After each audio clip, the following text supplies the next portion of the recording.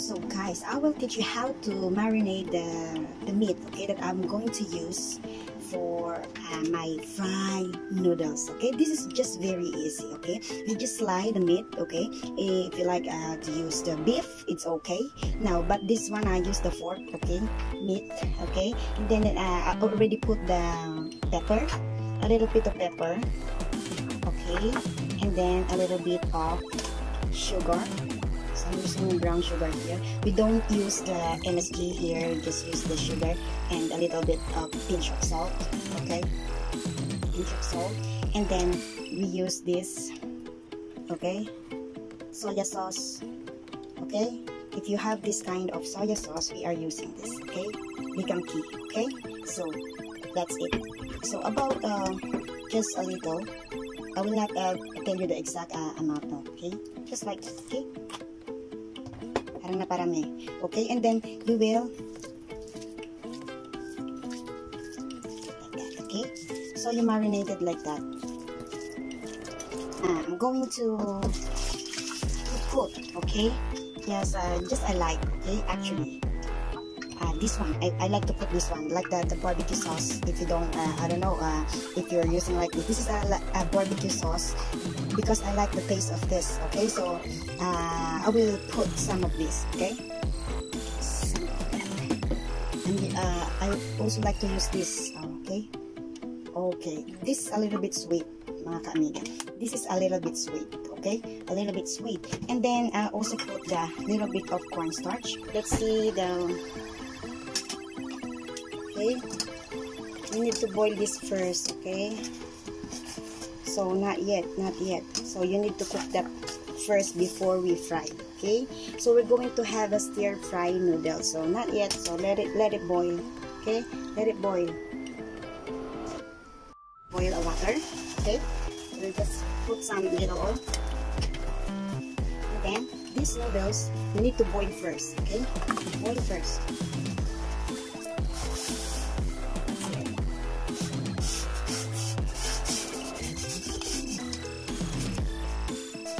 you need to boil first that noodles, okay?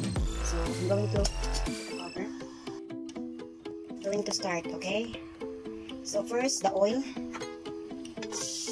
And then, garlic first. Okay?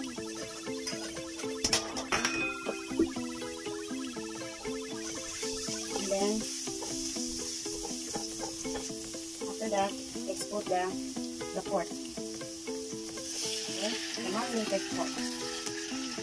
Hirap kasi hawak ko ng isang akin.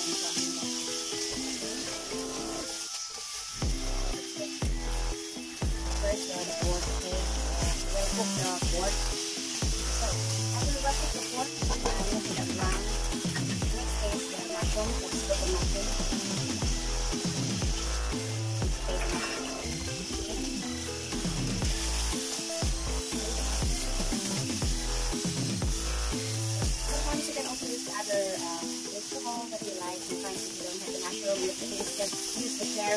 Okay? You can also use the carrots. Right. You can also use the, here in Hong Kong, if you like the Chinese chives, you can use the Chinese chives. Okay? The one that I use make the dumplings is dumplings, use water, use of water. Okay? So let it boil. Okay? Let it boil so that the pork will uh, become tender. And also, also the mushroom. So let it boil, okay? Let's put the lid on it. Okay underneath.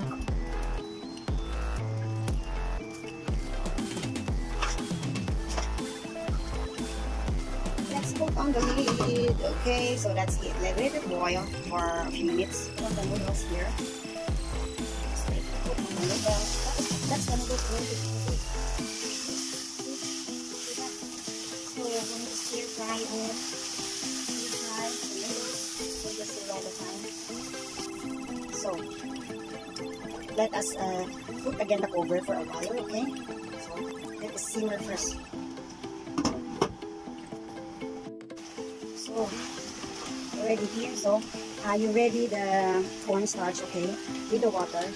Cornstarch with the water and put on it, okay?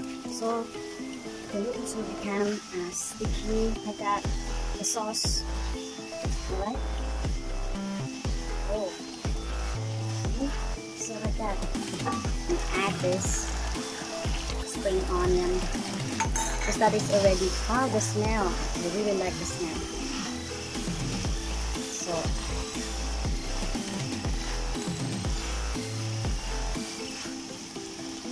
see see guys the sauce. Okay? That's it. It's very easy guys. It's very easy. Quick and easy recipe for uh, fried noodles okay here in Hong Kong. So here. Here we go. Oh it's up to you if you like to use the beef or the pork or chicken whatever. So that's it. It's very easy. So you see? That's it. So guys are you ready? This is the finished product of uh, fried noodles that I cook that I make okay? Okay so let us try. So yan na guys yung uh, noodles guys no? So you can oh see okay? Here is my chopstick. So you see? See? Berry sauce no? There's a sauce uh, like that hello guys at yan nga natapos na nga ang ating pagluluto no finish cooking now it's going to taste uh, the noodles that we are cook Okay, so here we go mga kaamiga. Naglagay lang ako sa maliit na bowl natin kasi this is my bowl and this is my chopstick. This is we cook, okay? I cook, no? So, fry noodles here, no? Uh, yan. So, tikman na natin guys. So, here we go. First bite. Okay?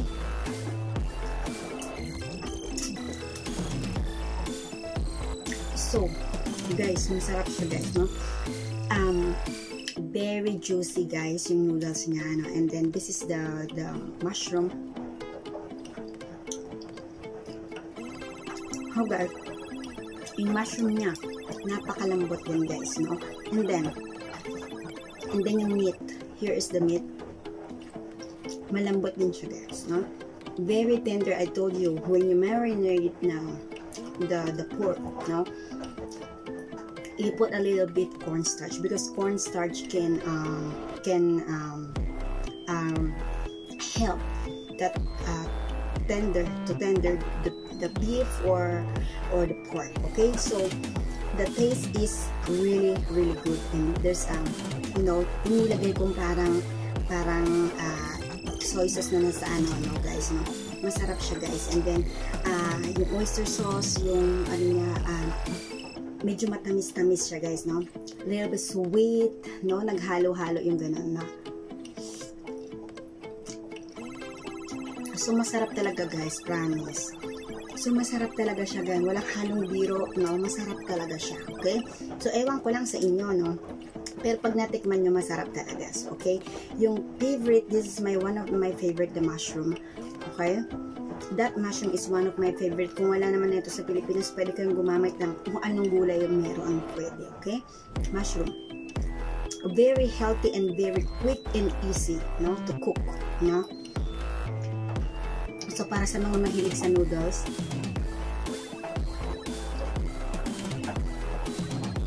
napakasarap guys. Okay? Napakasarap. So, ayan. Kainin na natin as in. Mmm alam nyo guys, yung ganito kaliit lang, no? Ganito lang yung bowl of rice ko dito. One cup of rice lang talaga kinakain ko. And ano lang, dinner lang ako kumakain ng rice talaga. So yeah.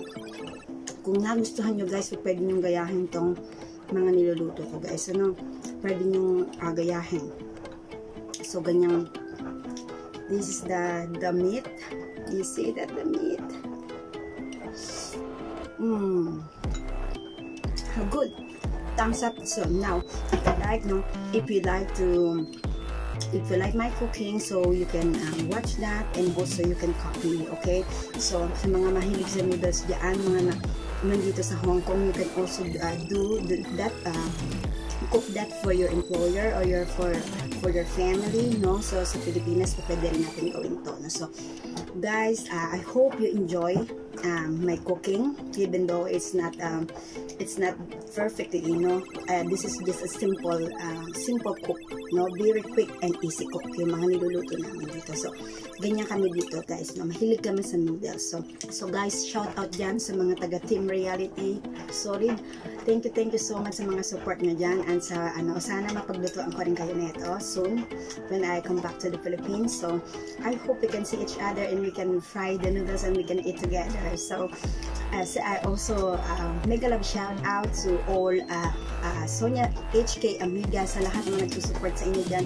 Sis Jules mega love shout out. Sis Jane Ma'am Murata. Ayan yung mga friendship natin sa iba't ibang ano na uh, Skyping Blue Budakal Rangers. Thank you thank you so much yan ba Alan TV Official, Mayor Skyping Blue, Jonard, uh, Kuya Mike, at syempre sa aking beshi na si Beng Beng Oman, Adventure Vlog, and also, of course, Arashal Army TV, at sa lahat-lahat ng Butacal Rangers na sumusuporta. Kuya Louie, nahiya naman ako sa luto ko, Kuya Louie. So, nagalap shoutout Kuya Louie. So, ayan, si Kuya Louie, masarap din magluto yan, guys. So, so yung mga vlog niya yan, madalas ko rin pinanonood kasi masasarap yung mga niluluto niya. So, shoutout sa'yo, Kuya Louie, dyan. And then, uh, ito simple lang, Kuya Louie, yung mga niluluto ko. And then, syempre, yung mga friendship natin dyan, Mama Lyra's Kitchen, ayan, isa sa mga magagaling din magluto. So, yan, very easy lang yung niluluto ko, Mama Lyra. Kuya Fred, Clumsy, and all of uh, uh, reality solid family. So, thank you, thank you so much for all the support, of course.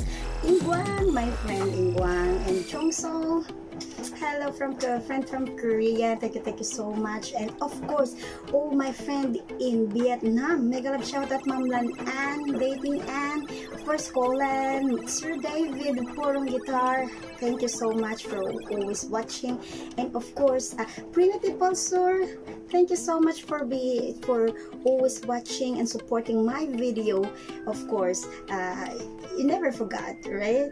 So thank you so much and love shout out to you and always thank you to all of you guys who always there for me to support me whether it's cooking, whether it's live. So I really, really appreciate Butakal Rangers family and also uh, reality, family, of course, uh, sa, at iba pa marami pa akong mga hindi nabanggit dyan, no, DJ Nap, and sa lahat dyan, sa mga Team Pure Lab, thank you so much dyan sa mga nan, uh, uh, patuloy na sumusuporta ka sa HK Amiga, and uh, hanggat sa pagkukuking ulit natin, at uh, ano pa man, nandiyan kayo para sa akin, so maraming maraming maraming salamat sa inyo guys, from the bottom of my heart, and to all of you na hindi ko nabanggit dyan. So, lahat kayo dyan, nagpapasalamat ako sa inyo dyan, guys. So, yan, ubos na, guys. Uh, naubos na ni Swan HK Amida. So, uh, I hope you like and I'll see you on my next video. On my next cooking, I see you guys. Bye-bye!